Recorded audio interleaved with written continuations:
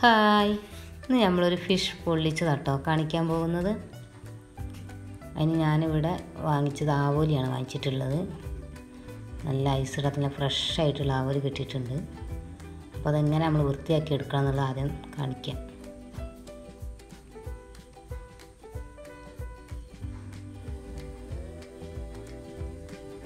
ഈ ഒരു സൈഡ് വേണ്ട കീറി കൊടുക്കണേ നന്നായിട്ട് കീറരുത്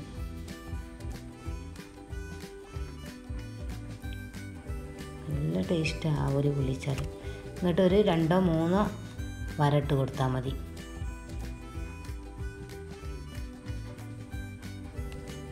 രാവിലെയൊക്കെ വൃത്തിയാക്കി എടുത്തു. ഇനി അതിലേക്ക് മസാല തയ്യാറാക്കണേ. ഒരു ഒന്നര സ്പൂണോളം ഞാൻ വെളുത്തുള്ളി പേസ്റ്റ് എടുത്തിട്ടുണ്ട്. അതിലേക്ക് ഒരു സ്പൂണ് പെരിഞ്ചീരകപ്പൊടി.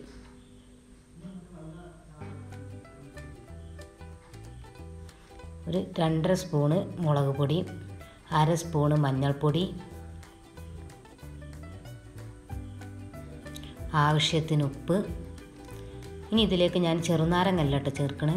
എപ്പോഴും നമ്മൾ മീൻ കായം തേക്കുകയാണെങ്കിലും ഇനി പൊള്ളിക്കുകയാണെങ്കിലും എപ്പോഴും ചെറുനാരങ്ങ നീര് നമ്മൾ ഒഴിക്കേണ്ട ആവശ്യം നമുക്ക് പുളീന്റെ നല്ല പുളി നല്ല ഗ്രേവി ആയിട്ടുള്ള പുളീന്റെ വെള്ളം നല്ല പിഞ്ഞ് ഒഴിച്ചു കൊടുത്താൽ മതി. നല്ല ടേസ്റ്റാണ് മീനിന്. ആ നാരങ്ങനെക്കാട്ടും ടേസ്റ്റ് ഉണ്ടാവും. അപ്പോൾ ഞാൻ അങ്ങനെയാണ് ഫ്രൈ ചെയ്യുകയാണെങ്കിൽ എന്തിനും ഞാൻ പുളിന്റെ ഗ്രേവിയാണ് ഞാൻ എടുക്കുക.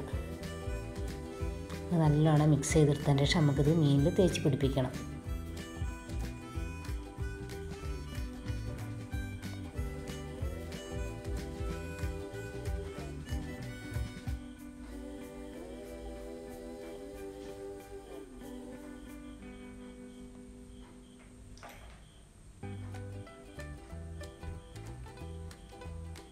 അങ്ങനെ നമ്മൾ മീനിലത് തേച്ച് പിടിപ്പിക്കുകയാണ്.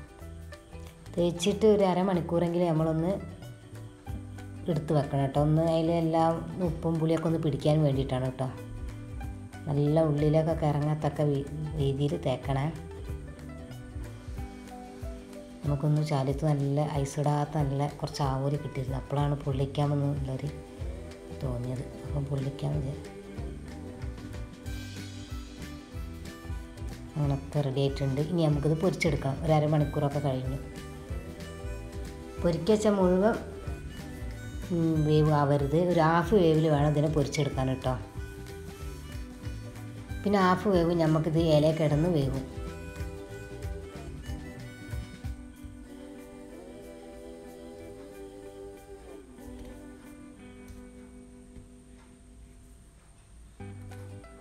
നല്ല ടേസ്റ്റ് ആവോലി പൊള്ളിച്ചാൽ മറ്റുള്ള മീൻ പൊള്ളിക്കുന്ന മാതിരിയില്ല ആവോലിക്ക് ഒരു പ്രത്യേക ടേസ്റ്റാണ് അങ്ങനെ ആദ്യം നമ്മൾ കുറച്ച് കരിയേപ്പിട്ട് കൊടുക്കണം. എന്താ വെച്ചാൽ നമ്മൾ മീനിലേക്ക് അതിന്റെ സ്മെല്ലും അതും ഇനിയിപ്പോൾ പിടിക്ക് ചട്ടി പിടിക്കുന്നുള്ള ആ ഒരു ഇതൊന്നും വേണ്ട. ഇപ്പോഴും ആദ്യം കരിയേപ്പിട്ട് കൊടുക്കണേ. പിന്നെ അതേമാതിരി എപ്പോഴും നമ്മൾ ഈ പൊരിക്കുന്ന സമയത്ത് മീനാകുമ്പോൾ എപ്പോഴും വെളിച്ചെണ്ണ തന്നെ ഉപയോഗിക്കണം. ഓയിലൊന്നും യൂസ് ചെയ്യരുത്.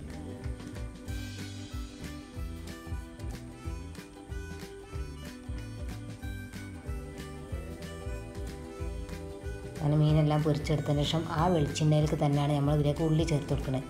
ഇതിപ്പോൾ ഞാൻ രണ്ട് വലിയ ഉള്ളിയും സവാളയും പിന്നെ കുറച്ചൊരു പിടി ചെറിയ ഉള്ളിയും കൂടാണ് കേട്ടോ എടുത്തത്. ഒരു കഷ്ണം ഇഞ്ചി ഒരു മൂന്നാൽ പച്ചമുളക്. ഇതിൽ ഞാൻ വെളുത്തുള്ളി ചേർത്ത് കൊടുക്കണില്ല കേട്ടോ.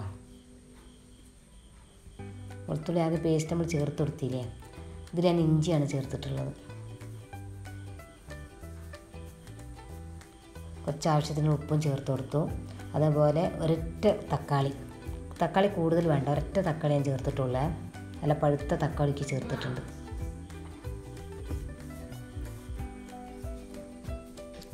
ആവശ്യത്തിനുള്ള ഉപ്പും ചേർത്ത് കൊടുക്കുക.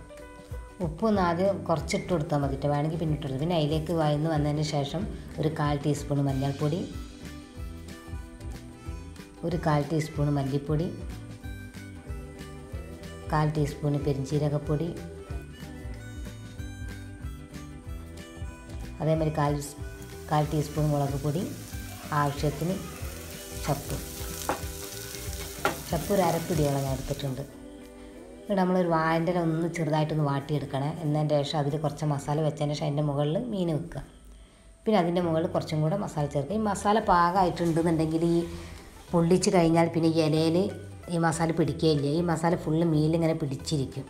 പിന്നെ പൊതിയുന്ന ശ്രദ്ധിക്കണം. ഇങ്ങനെ തന്നെ പൊതിഞ്ഞെടുക്കാൻ ശ്രദ്ധിക്കണേ. എന്നാൽ നമ്മളിത് പൊള്ളിക്കുന്ന സമയത്ത് ഇതിന്റെ ഉള്ളിൽ നിന്ന് ഒന്നും പുറത്തേക്ക് വരുമൊന്നും ചെയ്യൂല. ഉള്ളിലത്തെ എണ്ണ കാര്യമൊന്നും പുറത്തേക്ക് വരില്ല അപ്പോൾ എപ്പോഴും പൊതിയുന്നതാണ് എപ്പോഴും ശ്രദ്ധിക്കേണ്ട കാര്യം.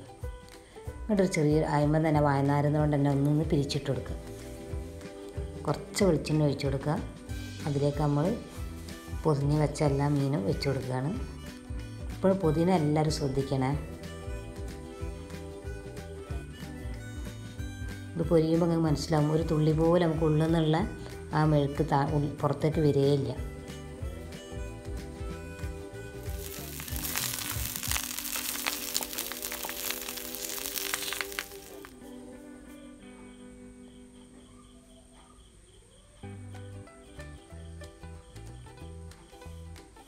അങ്ങനെ നമ്മളെ ഫിഷ് പൊള്ളിച്ച് റെഡി ആയിട്ടുണ്ട്. അപ്പോൾ നമുക്കിത് ആദ്യം നമ്മൾ ചെറിയൊരു വായനർ കെട്ടിയിട്ടുണ്ടല്ലോ അത് കളയുക എന്നിട്ടൊന്ന് തുറന്ന് വെക്കുക കണ്ട മസാല ഒന്നും വായന്റെ ഇല പിടിക്കാണ്ട് ഫുള്ള് മീനിൽ നല്ല പിടിച്ചിരിക്കുന്ന കണ്ടില്ലേ?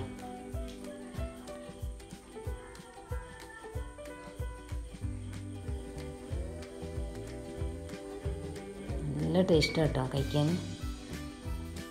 എല്ലാവരും ഒരു പ്രാവശ്യം ട്രൈ ചെയ്ത് നോക്കണേ.